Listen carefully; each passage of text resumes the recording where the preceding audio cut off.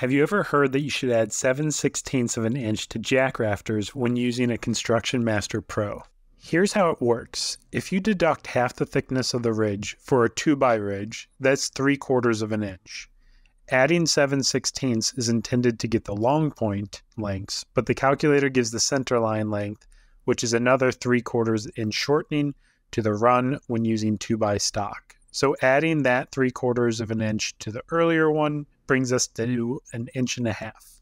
But there is also a run deduction for half the 45 degree thickness of the hip or valley, which is 1 and 1 16th of an inch.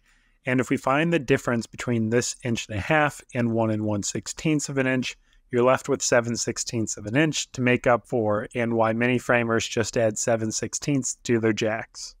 You may have noticed that this is all based on plan view dimensions, which makes 7 16ths a good estimate for lower pitches, but is less accurate for steeper roofs.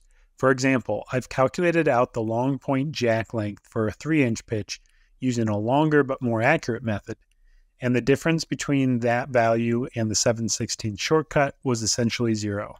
For a 12 inch pitch, the shortcut is off by almost a quarter of an inch, and on a 24 inch pitch, it's off by over half an inch. So it is a good shortcut, but only on shallow pitched regular hips and valleys using 2 by stock.